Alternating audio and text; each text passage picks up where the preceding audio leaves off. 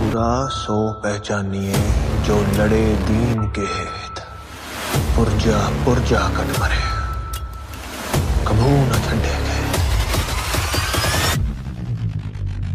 गए सोल्जर के लिए उसकी जान से ज़्यादा कीमती होती है उसकी इज़्ज़त, उसकी वर्दी।